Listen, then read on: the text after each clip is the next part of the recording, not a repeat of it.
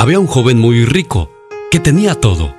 Una esposa perfecta, hijos maravillosos y un trabajo que le daba muchísimo dinero.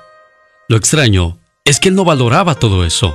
El trabajo y los quehaceres le ocupaban todo el tiempo y su vida siempre estaba ocupada. Si el trabajo le consumía mucho tiempo, él lo quitaba de sus hijos. Si surgían problemas, dejaba de lado a su esposa. Y así, las personas que él amaba eran siempre dejadas para después.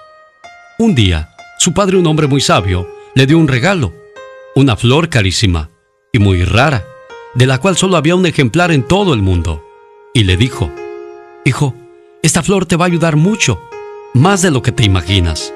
Solo tienes que regarla y podarla de vez en cuando, y a veces platicar un poco con ella.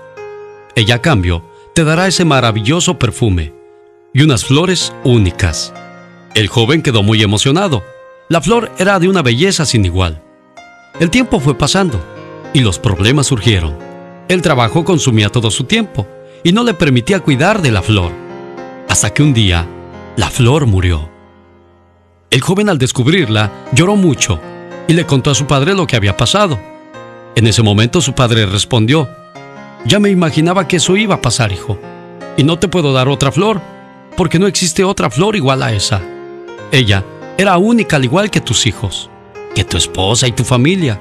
Todos son bendiciones, pero tú tienes que aprender a regarlos, a podarlos y a darles atención.